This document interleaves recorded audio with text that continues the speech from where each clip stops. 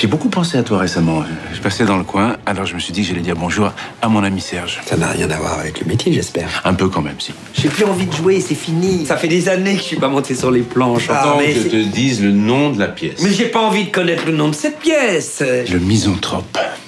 Alors voilà ce que je te propose. Pile, je fais Alceste. Face, c'est toi qui le fais. Et s'il faut par hasard qu'un ami vous trahisse, que pour avoir vos biens, on dresse un artifice, ou qu'on tâche. Ah, Excuse-moi. Verrez-vous tout cela sans vous mettre en courroux Et s'il faut par hasard qu'un ami vous trahisse, que pour...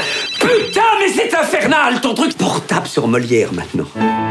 Vous savez, ma nièce Zoé, eh ben, elle veut être actrice. C'est magnifique la vocation. Ce qu'elle veut faire, hein, c'est actrice dans les films X. Elle m'a dit textuellement une double peinée à 8 h du matin, c'est pas évident.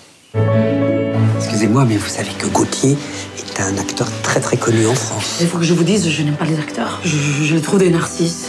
Qu'est-ce qui vous dit que. Si, elle a un peu raison. Toi, tu es très très narcissique. Il faut fléchir autant sans obstination. Et c'est une pas ça du tout. hein. Alors c'est obstination, perfection. préparation, masturbation, tout ce que tu veux. Mais tu me laisses dire le texte comme je l'entends moi. Quand on joue du classique, on respecte les vers. Voilà. Quand on partait de bon matin, quand on partait sur les chemins. On dirait que ça vous ravit de l'avoir blessé. Un peu. On était tous Ça fait cinq jours que tu joues avec moi, mais maintenant c'est terminé. Tu n'as aucune intention de jouer ce spectacle. La seule chose qui t'intéresse, c'est le petit pouvoir que tu as sur les gens.